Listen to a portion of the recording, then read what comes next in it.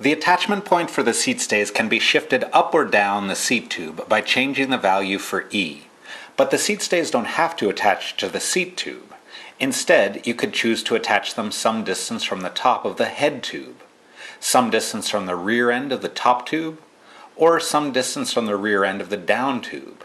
An enhancement in BikeCAD version 11.5 is the option to attach the stays to the seat tube pinch boss.